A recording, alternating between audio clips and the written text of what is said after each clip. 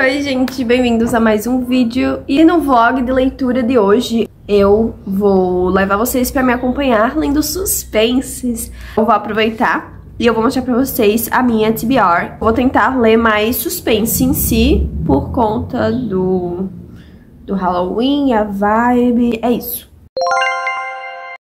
Chegou aqui em casa dois livros que eu acabei comprando na promoção que a Amazon fez essa semana.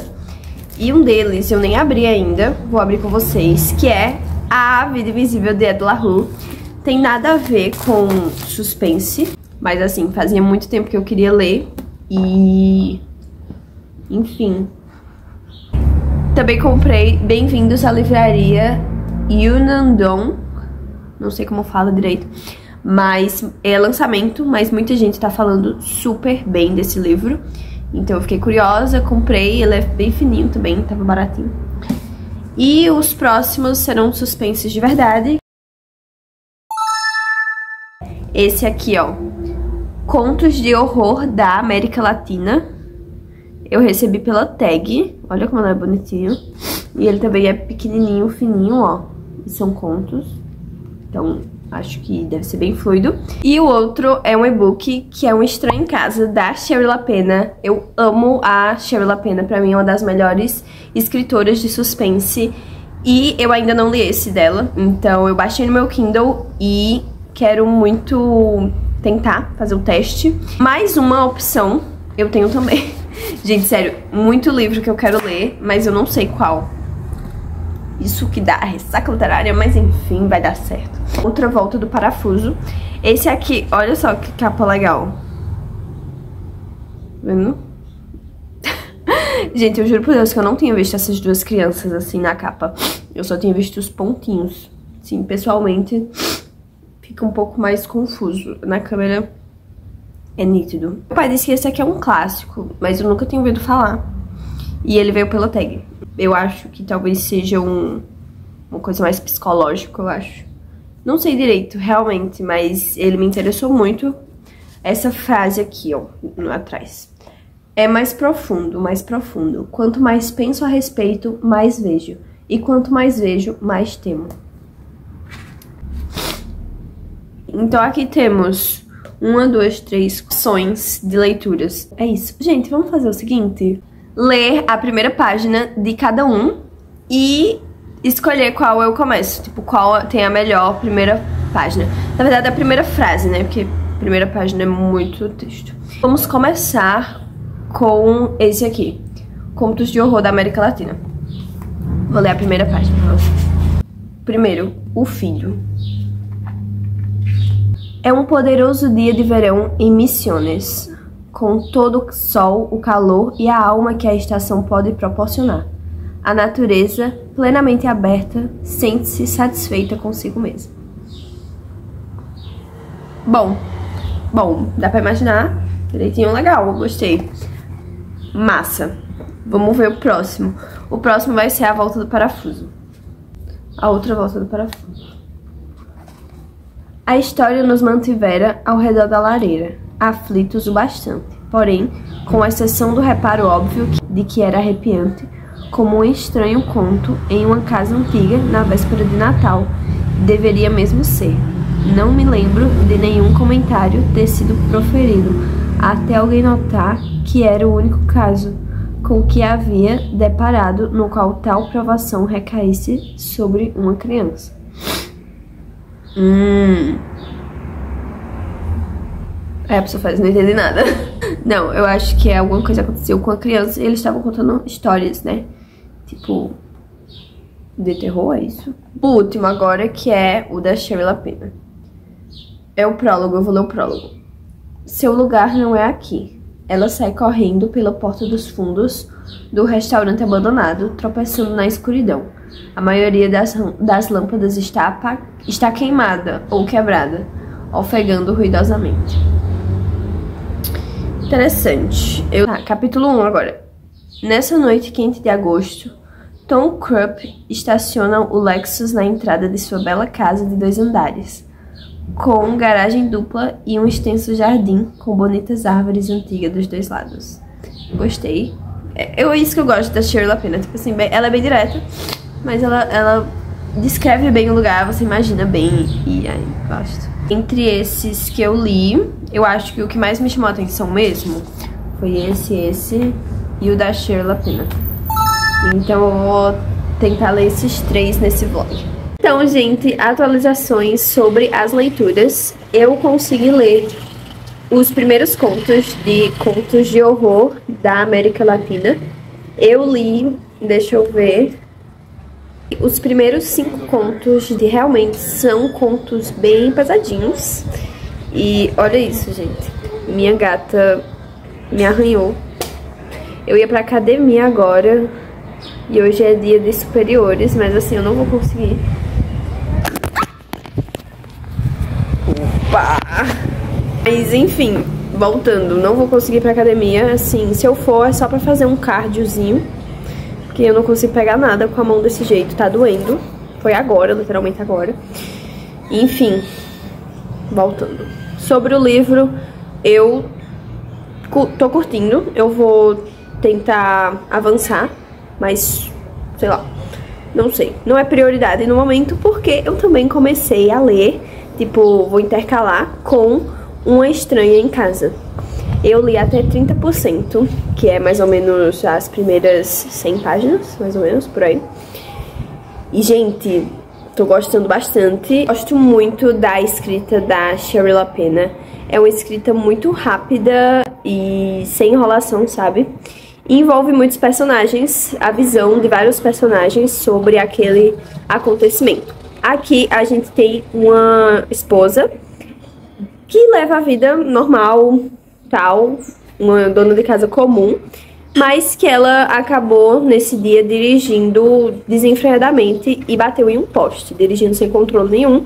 E bateu em um poste, só que isso foi tudo muito estranho, porque ela estava numa, numa parte da cidade muito perigosa, totalmente o oposto de onde ela vive. E nesse mesmo local aconteceu um assassinato. No mesmo dia que ela bateu o carro. Então é tudo muito suspeito, muito estranho e vão investigar sobre isso. Mas ela está com amnésia, ou seja, ela não lembra de nada que aconteceu.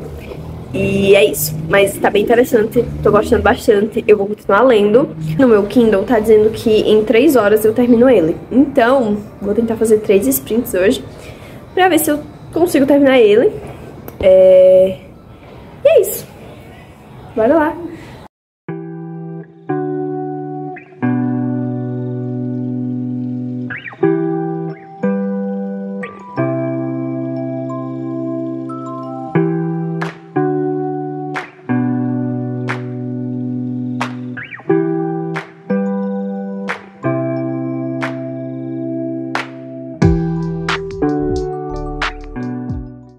Então, gente, atualizações do dia de hoje. E é o seguinte, eu cheguei em 50% de Um Estranha em Casa. E eu tô gostando muito. As coisas estão começando a se encaixar. Mas eu acho que vem bomba aí. Porque tá, tipo, tudo fazendo muito sentido, sabe? Tipo, tudo resolvido. Tipo, sendo que tá na metade do livro ainda. Então, tipo, eu acho que vem bomba aí. E eu tenho minhas suspeitas, mas não vou falar, né? Spoiler. Enfim, eu tô pronto pra ir pra academia, mas quis dar essa atualização pra vocês. E sobre contos de horror, eu não avancei muito, eu só li mais um conto, mas eu pretendo terminar o livro hoje e esse aqui também.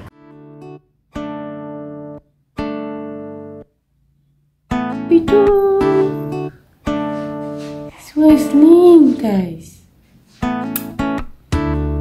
Oi, princesa. Então, gente, atualizações aqui sobre minhas leituras de suspense. Eu ontem consegui finalizar Um Estranho em Casa e o veredito final é que eu gostei muito.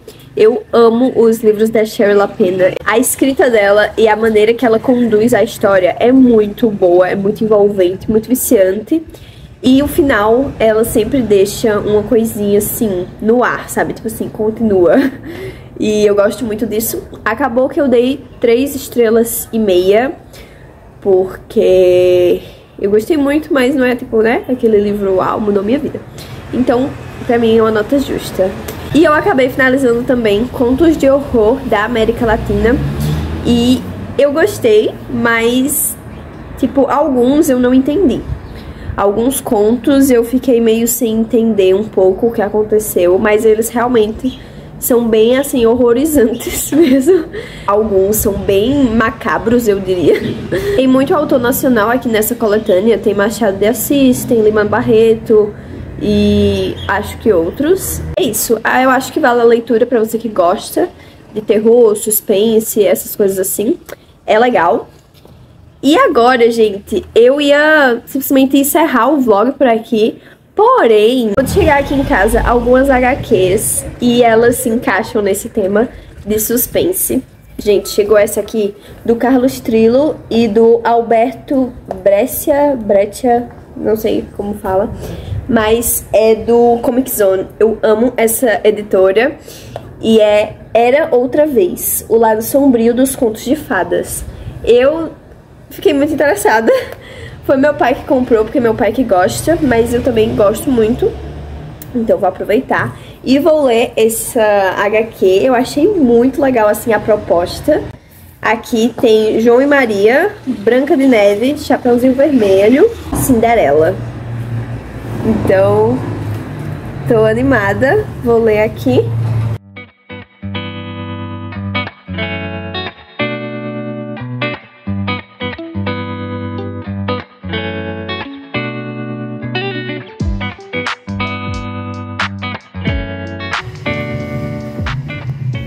Então, gente, mais um dia de atualizações e dessa vez estou aqui para contar que eu finalizei Era Outra Vez e eu gostei muito. É bem a vibe que eu imaginei, tipo uma outra versão dos contos de fadas que a gente conhece, né? Uma versão mais, mais macabrazinha. Enfim, eu gostei bastante. O desenho também, é, o traço, assim, ele é bem exótico, vamos dizer assim. É bem diferente, acho que combinou com a história. Passa bem as, as emoções, assim, de uma história que a história devia, devia passar mesmo. Eu sei que esse escritor aqui, ele também tem outros tipos de traço, então por isso que eu falei que esse estilo em si combinou muito com a história. Se ele tivesse desenhado de outra forma, eu acho que não ia combinar tanto quanto essa, entendeu? Então eu gostei bastante. E a edição muito, muito bonita também, as cores, tudo, enfim. Aprovado, eu dei quatro estrelas. Enfim, gente, esse foi o saldo final da minha... Dos meus dias lendo suspense. Eu acho que não... Não sei se deu uma semana, mas enfim. Eu consegui ler Uma Estranha em Casa, Contos de Horror da América Latina e Era Outra Vez. Eu não consegui ler A Outra Volta do Parafuso, mas vou tentar. Ainda esse mês vai que eu consiga. Enfim, acompanhem tudo no Leituras do Mês, que eu vou mostrar tudo pra vocês. E é isso, espero que vocês tenham gostado desse vlog e dessa minha versão de lendo suspenses no Halloween, que eu fiz também no ano passado. Vocês não viram, vejam. Enfim, é isso, gente. Beijos e tchau, tchau!